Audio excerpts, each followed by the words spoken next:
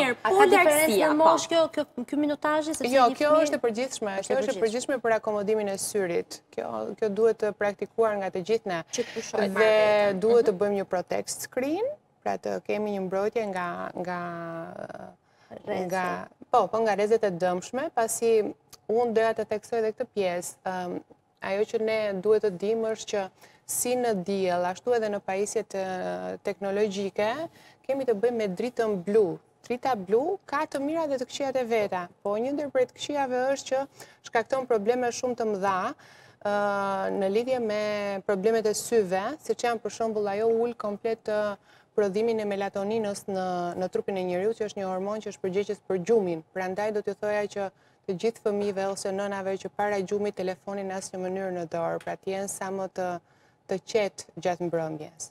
Ndërsa, në moshat e mëdha ndikon në çrregullimin e melaninës, që është një pigment që ndodhet në retinën e syrit dhe shkatërron dhe bëhet bëhet shkas për